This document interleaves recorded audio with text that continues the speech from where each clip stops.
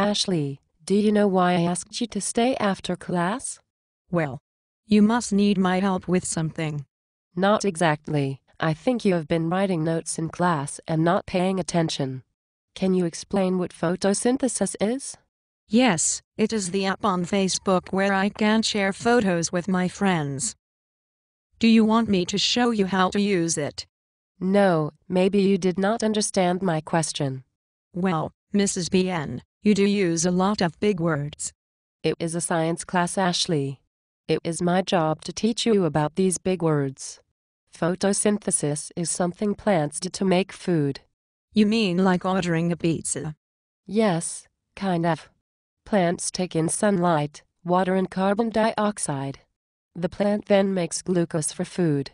The plant and animals need this food to stay alive. The plant also produces oxygen as a byproduct of photosynthesis. Humans depend on this oxygen for our survival. Here we go again with the big words.